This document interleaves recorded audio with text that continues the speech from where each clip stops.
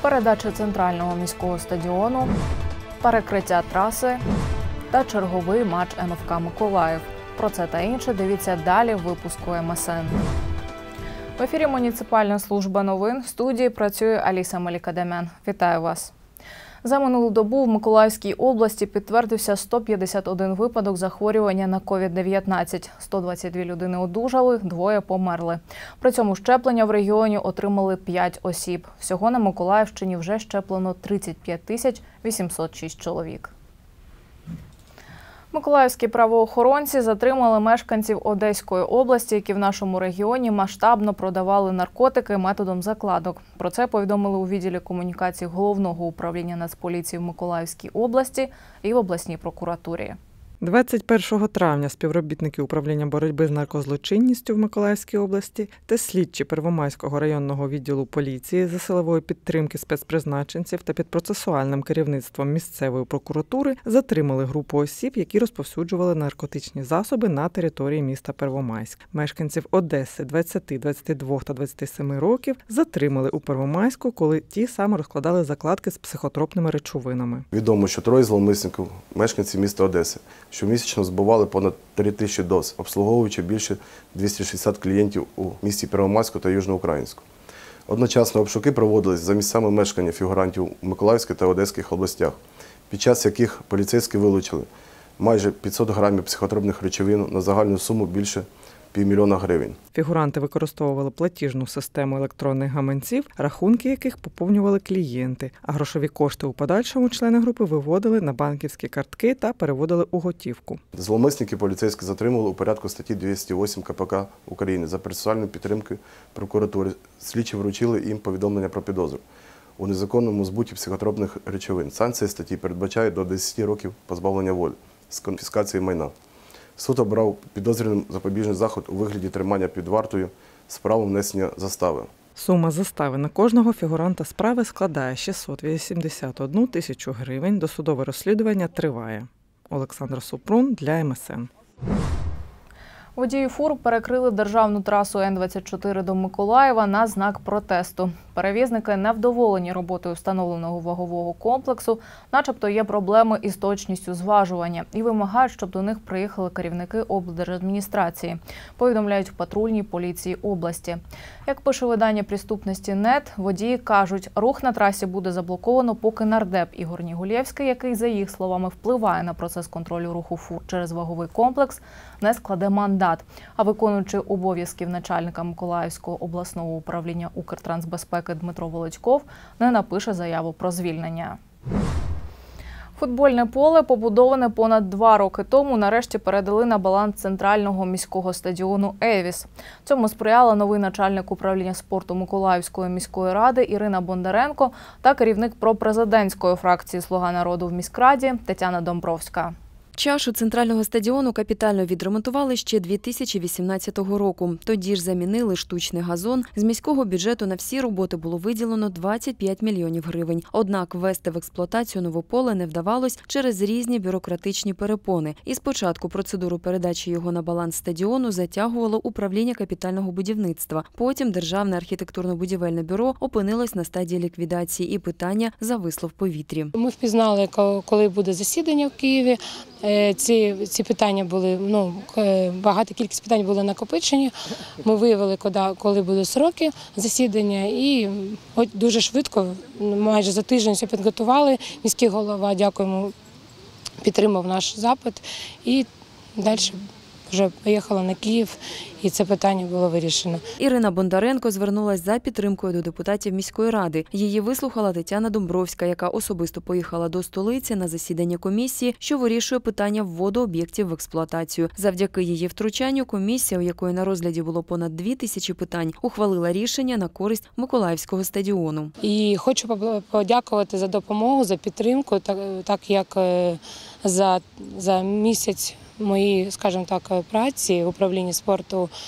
Е, Тетяна пішла на уступки та допомогла е, в цьому питанні. 13 квітня 2021 році ми отримали сертифікат е, прийняття чаші в експлуатацію. Наше питання, скажімо так, було одним, ну може для всієї України не таким глобальним, але ж для нашого міста це було дуже важливим. Тетяна Домбровська каже, добре розуміє сучасні проблеми спортсменів і наскільки важливо, щоб подібний об'єкт в обласному центрі працював, а не чекав на вирішення бюрократичних питань. Я как глава фракции «Слуга народа» считаю, что необходимо поддерживать спортсменов нашего города. И, естественно, я буду делать все, что максимально зависит и способствовать тому, чтобы спорт у нас процвітав і розвивався. З 13 квітня нове поле офіційно введено в експлуатацію. Тепер тут відбуваються футбольні матчі, тренуються спортсмени різного рівня, у тому числі легкоатлети, для яких відремонтували бігову доріжку, і просто городяни, які підтримують свій фізичний стан. Наталія Якобсон, Олексій Семенуха для МСН. Сьогодні, 24 травня, етнічні булгари святкують День слов'янської писемності та культури. Напередодні дати в мікрорайоні Тернівка булгарська спільнота відзначила це свято яскравим концертом. Чим цей день особливий для представників національної меншини, розкажуть наші кореспонденти. Болгарія завжди славиться своїми звичаями та традиціями. У день слов'янської писемності та мови болгарська спільнота влаштовує справжнє свято. Адже багато років тому, у 9 столітті, святі Кирило та Мефодій подарували усьому світові кирилицю. Нині нею користуються понад 250 мільйонів людей з різних континентів. Існує думка, що кирилиця прийшла до Київської Русі з Болгарії разом із старослов'янськими богослужними книгами після офіційного прийняття християнства у 988 році. Для болгар цей день особливий, тож і готуються до урочистостей теж завчасно.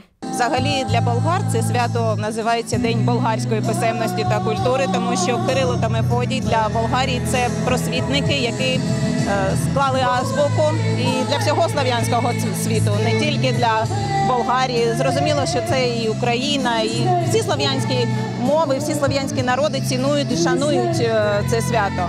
У Болгарії в день свята офіційний вихідний. До визначної дати зазвичай готують цілу низку пізнавальних та освітніх заходів, аби вшанувати святих, які створили для всіх слов'янських країн першу абетку.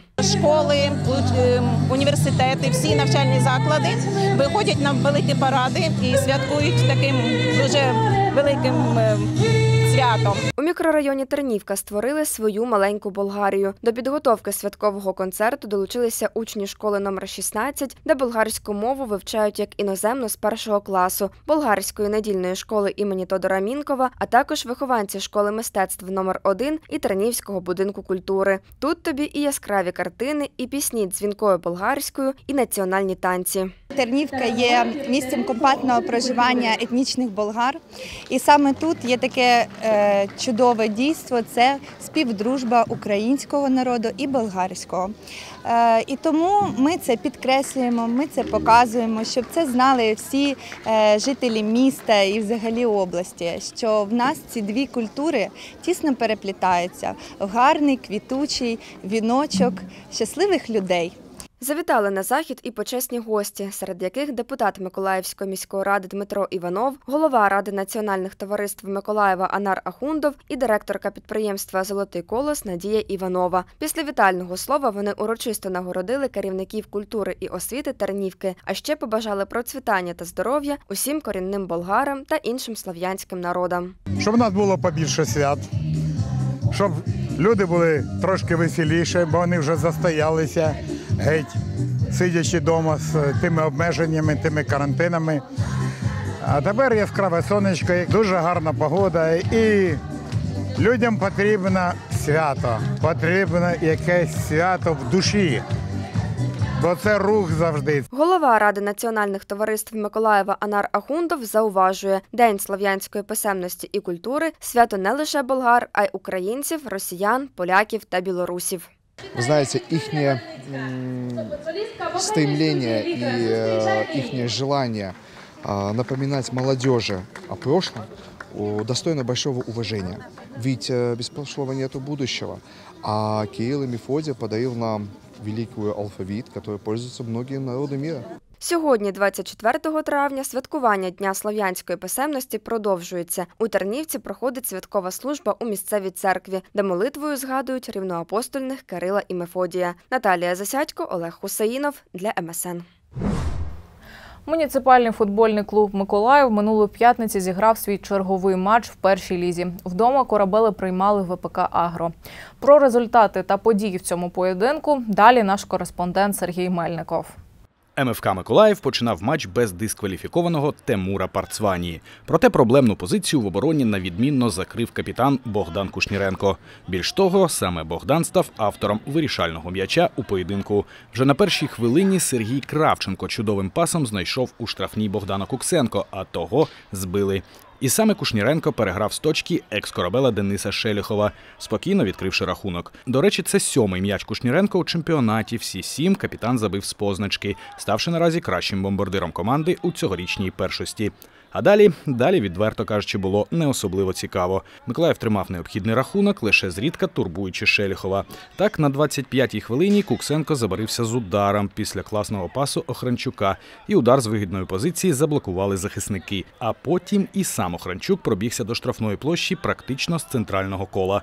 По дорозі Владислав обіграв Агапова, потім ще трьох, але вже у штрафній відпустив м'яч і пробивав у складних умовах. Тому удар не вийшов. Жаль, міг би бути гол красень. Єдиний момент у гостей за тайм імені Куліша. Досвідчений форвард зміг у падінні пробити. Проте і Бубінцов вже скоротив кут та зіграв надійно. Більше небезпеки від ВПК Агра у першому таймі не було, як і від Миколаєва. 1-0 перерва. Другий тайм розпочався з атак гостей, яким потрібно було відіграватись. Ксьонс непогано пробивав зі штрафного, Бобінцов закрив ближній кут. Після цього він же з кутового м'яч торкнувся ближньої стійки. Проте Бобінцов, скоріш за все, тут контролював ситуацію. До речі, Андрій Бобінцов видав черговий хороший матч. Моментів особливо біля його воріт не було, але у тих, що були, він виходив переможцем. А в інших випадках допомагав захист. 75-та хвилина Ксьонс навісив і Тищенко пробивав. Влучив у Кушніренко. Шмигельський на підбиранні, Кулинич у підкаті м'яч вибиває. Були у гостей питання з приводу пенальті, але арбітер на позначку не вказав. Кушніренко точно не грав рукою, а от чи фолив Кулініч, арбітр вирішив, що ні. У Миколаєва теж був хороший момент, аби подвоїти рахунок. Куксенко повернув борг Кравченку у вигляді класного пасу у штрафну. На жаль, Кравченко Шеліхова не переграв. Все було чудово у цій атаці, і пас, і те, як відкривався нападник, голу тільки не було. Як не було його, більше взагалі. У цьому поєдинку все вирішив м'яч капітана, який був забитий на третій хвилині. 1-0 Миколаїв продовжує свою безпрограшну домашню серію, яка налічує вже вісім поєдинків. Сергій Мельников спеціально для МСН. Наразі МФК Миколаїв перебуває на п'ятій сходинці в турнірній таблиці. Свій наступний поєдинок команда також зіграє вдома в середу, 26 травня, проти Тернопільської Ниви. Початок матчу о 17.00. І наостанок про погоду. Завтра, 25 травня, буде ясно без опадів. Вітер північно-східний, легкий. Температура плюс 12, плюс 25 градусів тепла. Тиск 767 мм ртутного стовпчику. Вологість повітря 55%, а ймовірність опадів 1%. Це були всі новини на цю годину. Дякую, що були з нами. Більше новин читайте та дивіться на нашому сайті trkmart.tv. А також приєднуйтесь до нас у соціальних мережах. На все добре.